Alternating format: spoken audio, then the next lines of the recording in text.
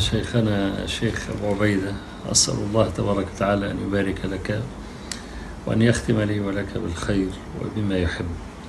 حدثني عنك أخونا عمر الخزبري وأحببتك من حديثه واستمعت إلى بعض درسك في التجويد وأعجبت به وطريقتك في الإلقاء فطمعت أن يعني تمكن أخانا عمر من أن يسجل شيئا من حياتك من سيرتك الذاتية من طلبك للعلم.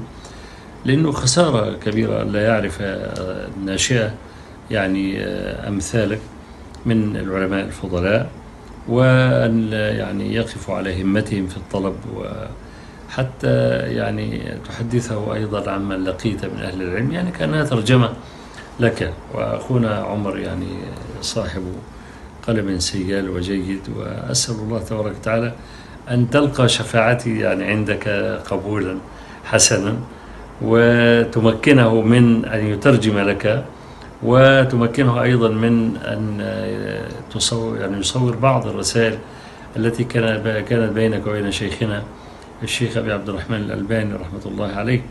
فأسأل الله تبارك وتعالى أن يبارك في عمرك وأن يطيل في عمرك وأن يحسن عملك وأن يتقبله بقبول حسن وأن يجزيك بأحسن ما كنت تعمل.